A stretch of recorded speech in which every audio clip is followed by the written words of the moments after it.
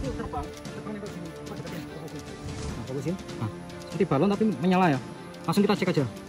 Luar biasa ini. Wow mistis sekali. Langsung kita buka ini. Seperti dalamnya itu ada sesuatu yang di penjara gitu. Ya. Nah luar biasa. Tuh ya kan? Kayak serangga ya. Oh iya bener serangga ya. Nah serangga ter kayak apa terjebak di dalam gelembung tadi. Gelembung mistis tadi. Nah fokusin deketin ya. Fokusin ya. Aku buka ini serem sekali nih seperti serangga tuh. Ya serangga ya. Fokusin wow. Tuh tuh tuh. Isinya tuh. Emas guys. Wah tuh. Ada tiga. Ada lagi dalamnya. Tuh. Seperti kulit serangga yang udah mati terus dalamannya itu kosong. Wow. Isinya seperti telur tapi lubang-lubang dan ceper-ceper.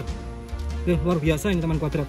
Ada lima emas ini fenomenal mistis sekali oke? Tetap kita nanti kita cangkeng ke lab ya mistis sekali cuan nih